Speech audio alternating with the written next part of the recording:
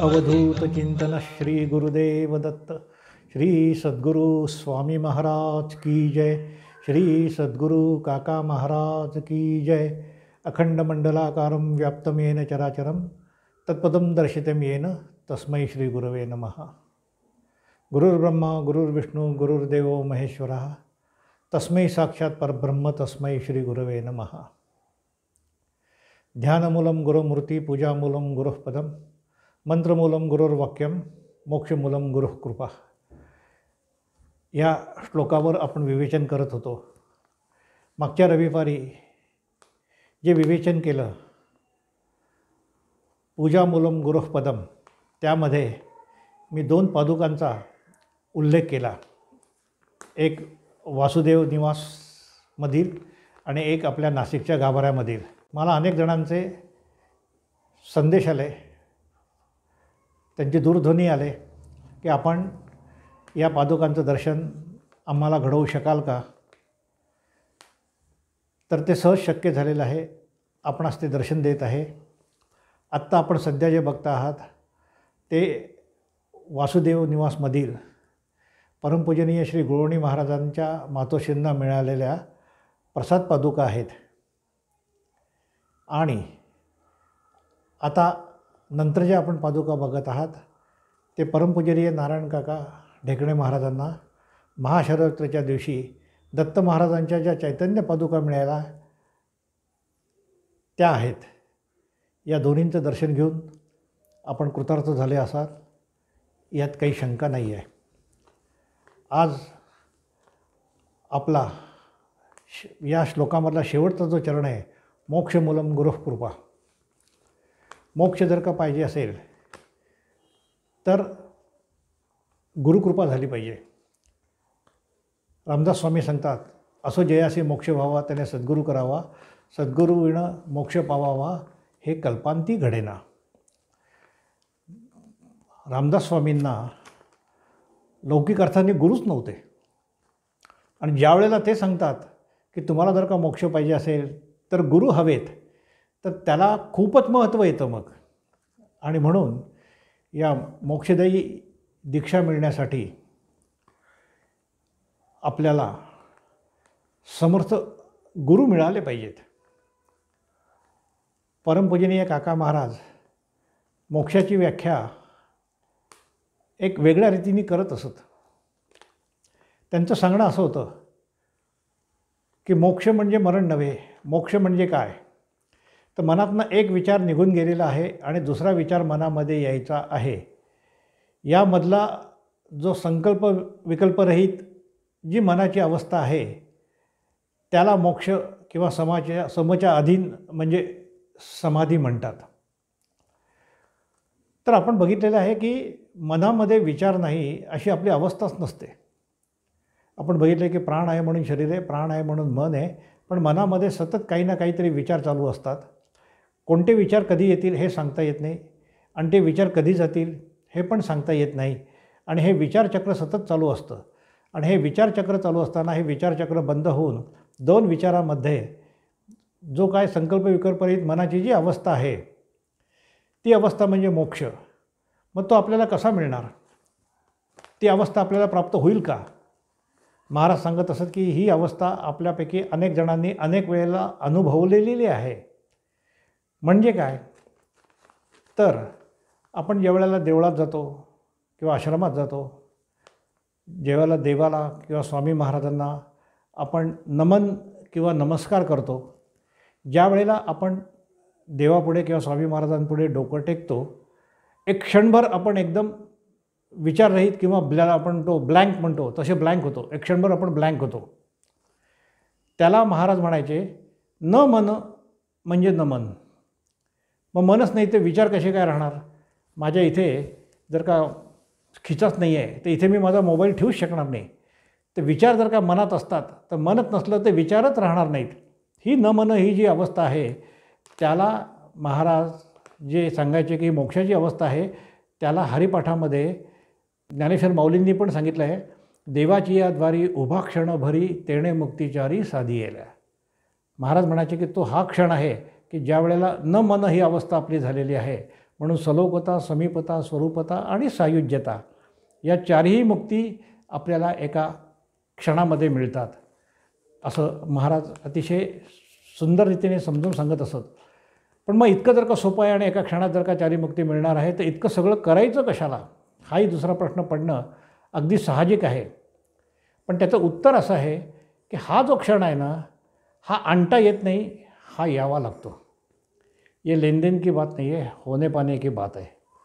तर हा जो क्षण आहे हा क्षण यावा लागतो आणि त्याच्यासाठी म्हणून मग साधना किंवा दीक्षा या गोष्टी सांगितलेल्या आहेत.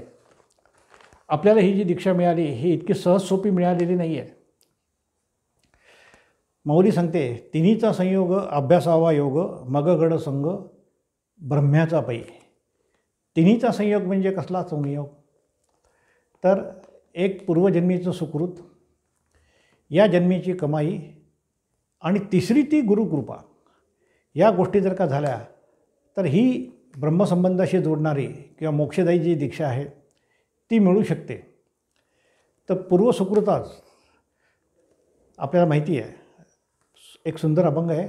रूप पाहता लोचनी सुख झाले वो साजणी तो हा विठ्ठल बरवा तो हा माधव बरवा. पूर्वसुकृताची जोडी तेव्हा विठ्ठली आवडी. सर्व सुखाचे आगरू बाप देवी रखमावरू म्हणून ते काय सांगतात की पूर्वसुकृताची जोडी तेव्हा विठ्ठली आवडी. आणि विठ्ठली म्हणजे त्या शक्तीचं नाव आहे. त्या कुंडलिनी शक्तीचं नाव आहे. तिचं आवाज तिचं जर का आवड जर का निर्माण व्हायची असेल तर पूर्वजन्मीचं सुकृत पण लागतं. आणि या जन्माची कमाई म्हणजे या जन्माची पुण्याई त्याच्यामध्ये दोन भाग आहेत की आपल्या घराण्यामध्ये परंपरेने अनेक उपासना चालू असतात. अनेक प्रकारचे आपण ज्याला आपण काय म्हणतो की सणवार साजरे करत असतो कुळधर्म कुळाचार करत असतो. आपल्या घराण्याच्या ज्या चालरीती आहे त्याप्रमाणे आपण आपल्या कुलदेवीची जी शुश्रूषा करत असतो तिची संभावना करत असतो. त्यामुळे ही जी आपल्यामागे पूर्वजांची पुण्याई असते ती उभी असते आणि आपली पण पूर्वजन्माची पुण्याई असते ती पण उभी राहते. आणि मग त्यानंतरच अशा प्रकारचे विचार येऊ शकतात. आणि तिसरी ती गुरुकृपा. ती गुरुकृपा होण्यासाठी देखील काय आहे ती पण इतक्या सहज होत नाही आहे तर ऐसी कर्मसाम्य दशा जेथे होय विरेशा तेथे श्री गुरु अपायसा भेटेची गा. सद्गुरू कधी भेटतात? तर ज्यावेळेस ही कर्मसम्य दशा तुम्हाला प्राप्त होईल. कर्मसम्य दशेची एक व्याख्या फार सुंदर रीतीने केलेली आहे त्यांनी की पाप आणि पुण्य सारखं झालं की कर्मसम्य दशा येते आणि मग सद्गुरूंची भेट होते. समर्थ गुरु भेटणं ही देखील त्यामुळेच जन्मजन्मची पुण्याई असते. नानकजींचा ज्यावेळेला अंतकाळ जवळ आला त्यावेळेला त्यांना आपला उत्तराधिकारी निवडायचा होता. आणि तो निवडताना कसा निवडावा हा ज्यावेळेस त्यांच्यापुढे पेच प्रसंग उभा राहिला त्या दिवशी एकदा एक दिवशी त्यांनी काय केलं की झोळी घेतली. त्या झोळीमध्ये स्वतःजवळचे असलेले सगळे माणिक मोती रत्न हे सगळे घेतले. हातामध्ये एक सोटा घेतला आणि जोरजोरात ओरडत रस्त्याने निघाले ते. सगळेजण अचंबित झाले की नानकजी असं काय करतात ते? कोणी जर का नानकजींच्या जवळ गेला की ते त्याला सोट्याने मारायचे. काही जण जायचे जवळ घ्यायचे परत ते सोट्याने मारले तरी जवळ गेले तर मग ते काय करायचे? ते रत्न जे आहेत ते मोती जे आहेत ते फेकून द्यायचे. आणि मग सगळेजण त्याच्यामागे जायचे. असं करत करत तीन त्यांचे जे शिष्य असतात ते त्यांच्याबरोबर राहतात. त्यात लहानजी जो असतो त्याला ते विचारतात मी तुला एवढं मारतो आहे तरी तू का बरं तिथे थांबलेला आहेस? तो म्हणे महाराज माझं असं आहे की कधी माझ्यावर संकट आलं किंवा कोणीतरी माझ्यावर काही मारहाण केली किंवा काही जरी केलं तरी मी सद्गुरू चरणापाशी जातो. आपणच करत आहात तर आपले चरण मला जे आहेत त्यापाशी मी राहणार आहे. असं म्हटल्यानंतर हे तिन्ही शिष्य घेऊन ते एका नदीकाठी जातात. आणि नदीकाठी जात असताना चालत असताना नानकजी पटकन मागे वळतात आणखीन मुठीमध्ये काहीतरी उचलतात. ते उचलल्यानंतर पहिल्या साधकाला विचारतात पहिल्या त्यांच्या शिष्याला विचारतात की मेरे मुठ्ठी में क्या है? तर तो शिष्य सांगतो की आपके मुठ्ठी में कुछ कंकर है. म्हणजे काही कण आहेत वाळूचे कण आहेत किंवा दगडाचे कण आहेत. मग ते दुसऱ्या शिष्याला विचारतात की मेरे मुठ्ठी में क्या है? तर तो म्हणतो की सिर्फ कंकर ही नहीं है तो थोडी सी रेत भी आपके हाथ में है, आपकी मुठ्ठी में है। त्या लहानजींना विचारतो की मेरे मुठ्ठी में क्या है? तर तो म्हणतो गुरुदेव, आपके मुठ्ठी में तो तीनों जहाँ की बरकत है। आणि मग ते त्याला त्यांनी आलिंगन दिलेलं आहे त्यांचं नाव नंतर अंगत झालेलं आहे शिष्य जैसा याचक नाही, दाता सद्गुरु समान तिन्ही लोक की संपदा सो गुरु दे दी दान। तिन्ही लोकांमध्ये जे श्रेष्ठ ज्ञान जर का काही असेल तर ते मोक्षदायी ज्ञान आहे. आणि ती म्हणजे यत्र शक्तीर्न पद्धती तत्र सिद्धीर्न जायते. शक्तिपात जर का झाला तरच या प्रकारचा तो मोक्षदायी मार्ग जो आहे तो मिळू शकतो. योग शकोपनिषेधामध्ये आपण पूर्वी बघितलेलं आहे त्यामुळे आता पूर्णपणे ते घेत नाही आहे परंतु त्यात त्यांनी सांगितलं आहे नाना मार्गस्तु दुष्प्राप्यम कैवलम परमम पदम सिद्धी मार्गण लभते नान्यथा पद्मसंभव. तर अनेक मार्ग आहेत. अनेक मार्गाने तुम्ही कैवल्यपद म्हणजे मोक्षपद हे तुम्ही मिळवू शकतात. परंतु सिद्धयोगाच्या मार्गाने हा जो मार्ग आहे ही जी दीक्षा आहे किंवा ही जी अवस्था आहे ही सहज प्राप्त होऊ शकते असं भगवान शंकर ब्रह्मदेवांना सांगतात आहे. तर त्याच्यामध्ये देखील त्यांनी सिद्धयोगाचा किंवा आपली जी दीक्षा आहे त्याचं वर्णन केलेलं आहे. अनेक गुरु अनेक वेळेला ही दीक्षा देताना अनेक परीक्षा घेत असत हे आपल्याला माहिती आहे. स्वामी महाराजांनी देखील अनेकांच्या परीक्षा घेतलेल्या आहेत. प्रत्येकाला ताबडतोब त्यांनी दीक्षा दिलेलीच आहे असं नाही. एक छोटीशी गोष्ट आहे. ती स्वामी समर्थांच्या जीवनामध्ये आहे. तर स्वामी समर्थ ते चिंचवडला एक कुलकर्णी नावाचे तहसीलदार तहसीलदार असतात. ते निवृत्ती झाल्यानंतर ते कायद्याचा अभ्यास करतात आणि ते वकील बनतात.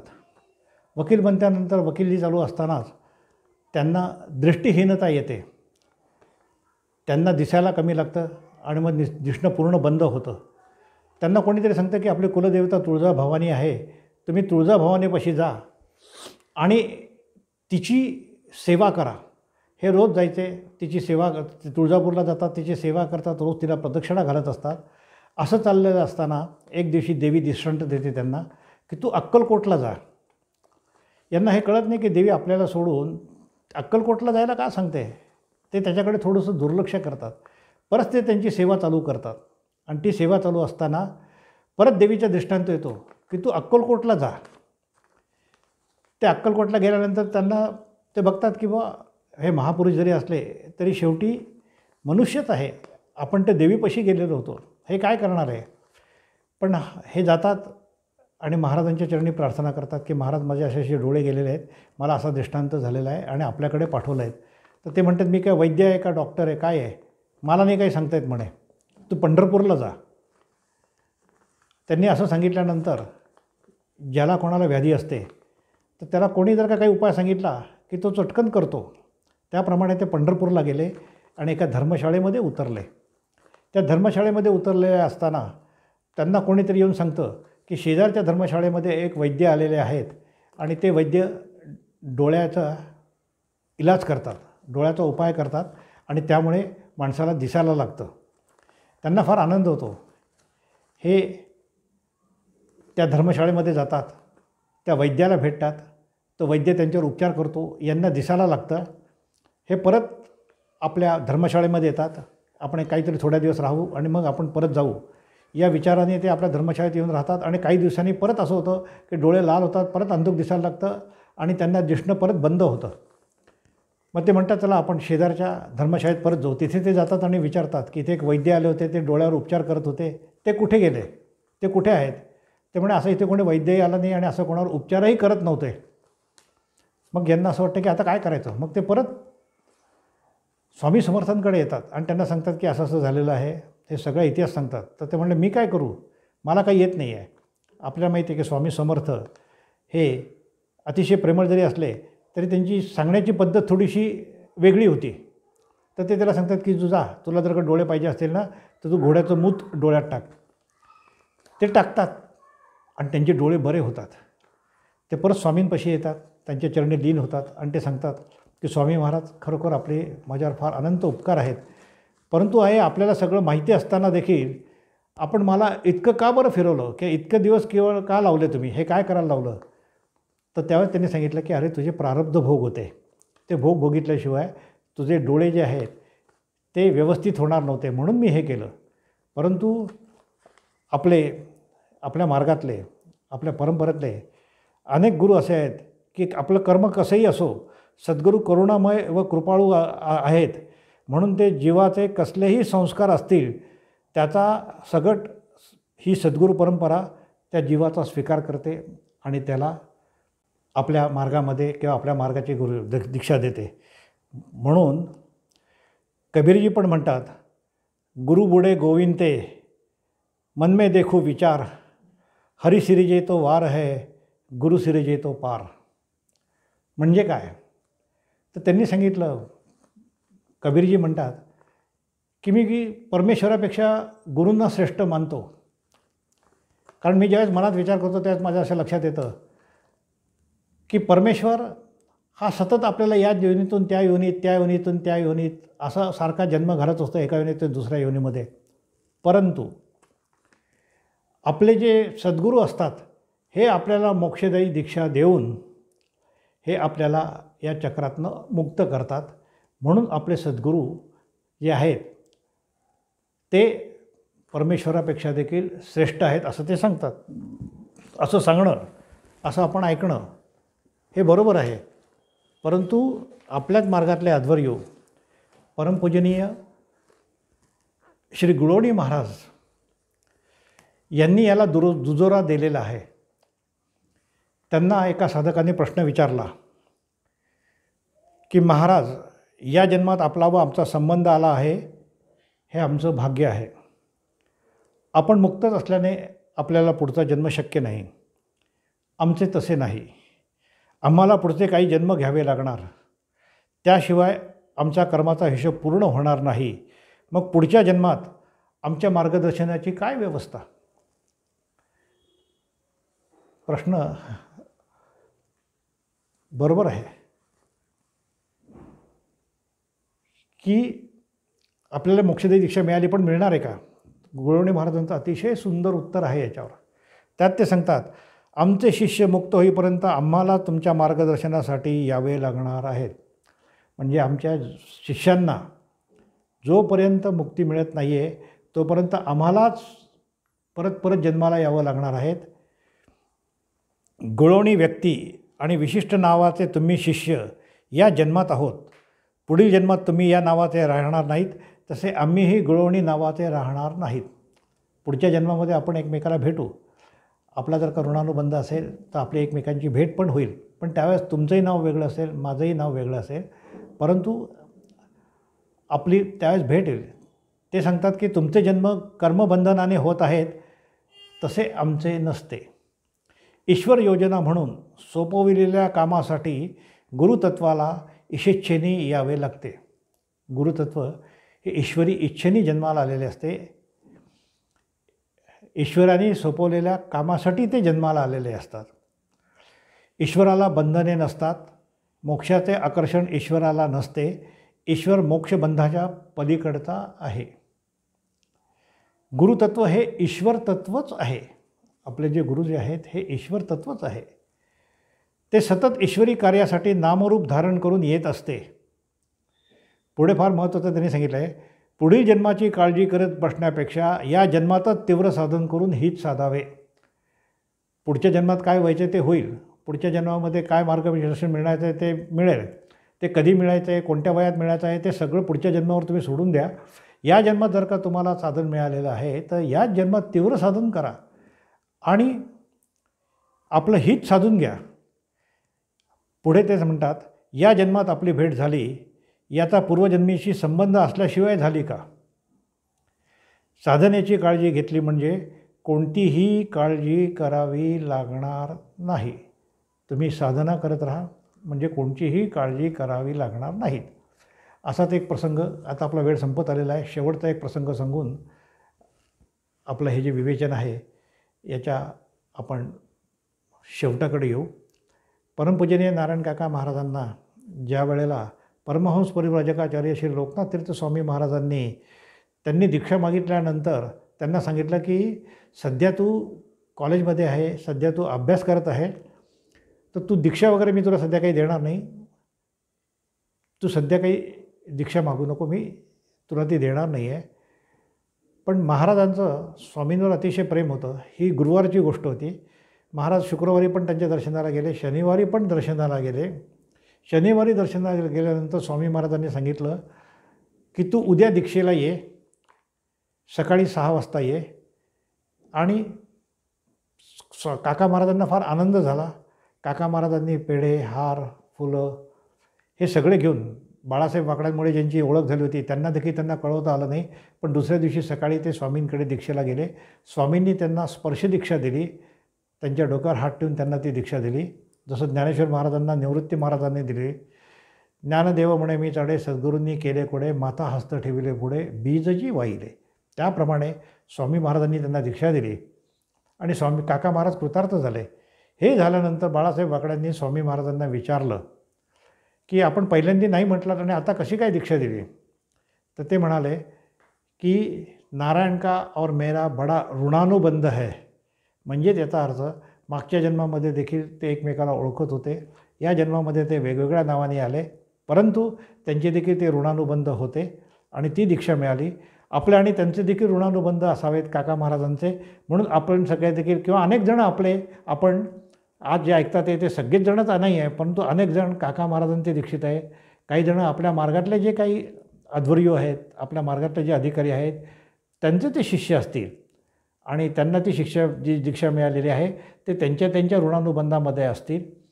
असा हा जो सिद्धयोगाचा जो मार्ग आहे हा आपल्याला मिळून आपलं जीवन कृतार्थ झालेलं आहे. गृहिणी महाराजांनी देखील सांगितलेलं आहे की या जन्मामध्ये तीव्र साधना करून आपलं कल्याण करून घ्या.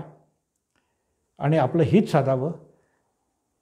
तर आपण स- परमहंस परिव्राजकाचार्य श्री लोकनाथ तीर्थ स्वामी महाराज व परमपूजनीय श्री नारायण काका ढेकणे महाराज यांच्या चरणी प्रार्थना करू की आमची नित्य साधना होऊन या साधनेमध्ये आमची प्रगती हो आणि अशीच कृपा आम्हा सर्वांवर सतत राहू द्या. करोनाच्या काळामध्ये आम्हा सर्वांचं साधन जे आहे हे वैयक्तिक होत आहे. ते वैयक्तिकच होत राहील. जोपर्यंत हे नियम उठत नाही तोपर्यंत सामुदायिक साधन करण्याचा प्रयत्न करू नका. आपल्या प्रशासनाने जे घालून दिलेले नियम आहेत राज्याच्या राज्य सरकारने घालून दिलेले जे नियम आहेत त्या सगळ्या नियमांचं पालन करा. काका महाराज शिस्तीचे अतिशय भोगते होते. आपण नियम पाळत आहात याचा देखील काका महाराजांना अतिशय आनंद होईल. आणि काका महाराजांनी सांगितलेले आहे की सद्गुरूंना प्रसन्न करणारी सेवा केल्याने साधनेमध्ये वृद्धी होते. ते आपल्याकडनं आपोआप घडणार आहे. तर परत सगळ्यांना आठवण करून देतो की सगळ्यांनी नियम पाळा रोज नित्य साधन करा आणि आपली प्रगती करून घ्या. एवढे बोलून मी माझे दोन शब्द स्वामी महाराजांच्या आणि काका महाराजांच्या चरणी अर्पण करतो. अवधूत चिंतन श्री गुरुदेव दत्त श्री सद्गुरू स्वामी महाराज की जय श्री सद्गुरू काका महाराज की जय.